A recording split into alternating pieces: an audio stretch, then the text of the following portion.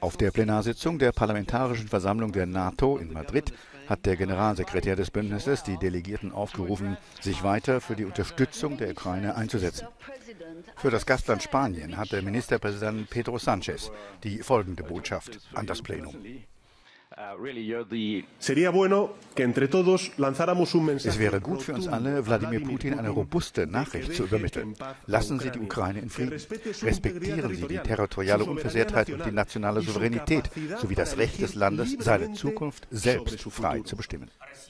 Der ukrainische Präsident Volodymyr Zelensky richtete sich per Videoschalter an die Delegierten und bekräftigte erneut seine Absicht, sein Land zu einem Mitglied der NATO und der EU zu machen. NATO-Generalsekretär Jens Stoltenberg betonte die Notwendigkeit einer militärisch starken Ukraine. Wir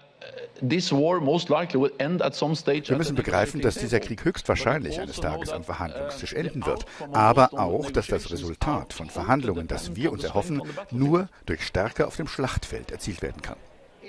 Der Preis, den das Bündnis zu zahlen hätte, wenn es der Ukraine nicht gelingen sollte, Russland zu stoppen, würde höher und mit Geld nicht zu beziffern sein, so Stoltenberg.